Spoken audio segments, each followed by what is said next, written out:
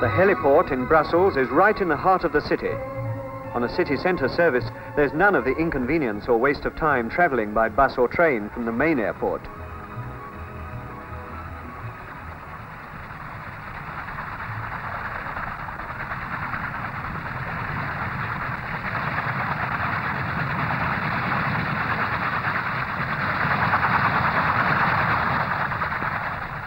A smooth vertical descent followed by a gentle touchdown. In a space that need be little larger than the diameter of the rotor.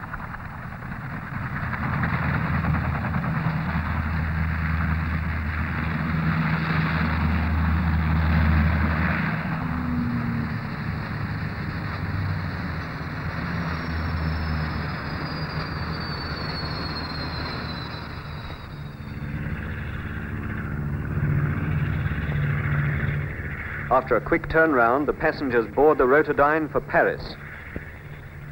Fares will be comparable with those of conventional fixed-wing airliners.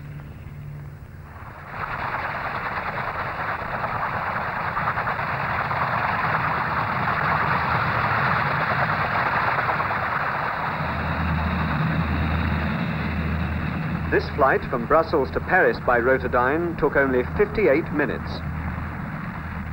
The journey time between these town terminals by fixed wing aircraft on scheduled services is 3 hours 15 minutes, three times longer than by Rotodyne. The fastest train, by the way, which runs only once a day, takes 2 hours 54 minutes. It's much quicker by Rotodyne.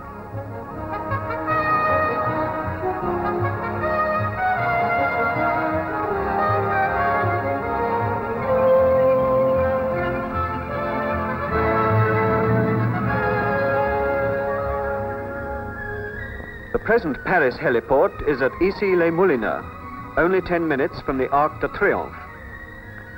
Plenty of room for more than one Rotodyne here. Another quick turnaround, and without delay, the Rotodyne takes off for London.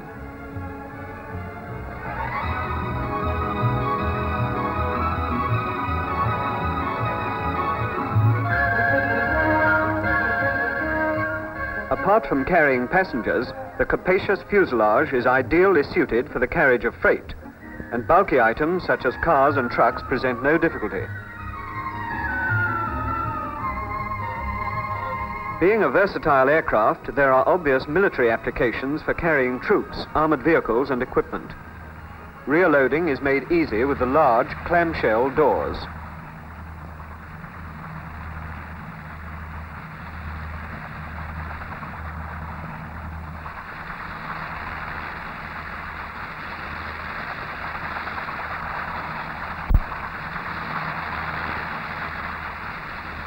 If the load is too unwieldy to be stored internally, it can be slung underneath. Recently, in the role of a flying crane, the Rotodyne accurately positioned a bridge over 100 feet long.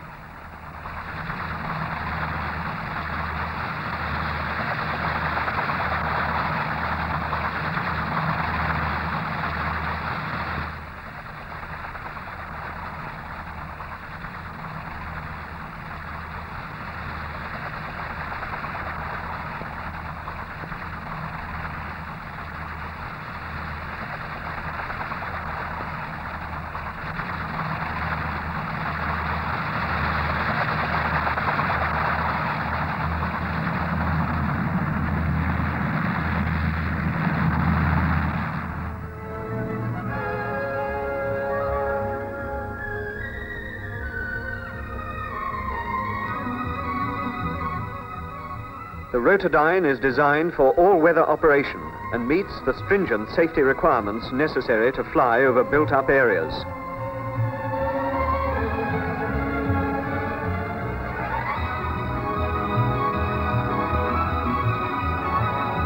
The Rotodyne can fly with perfect safety even if one engine fails.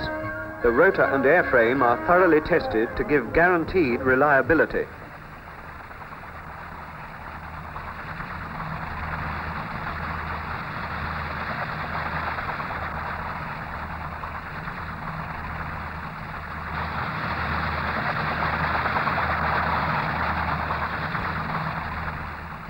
And so back to London after a flight which proves that when the Rotodyne enters service, it will revolutionize medium-range air transport.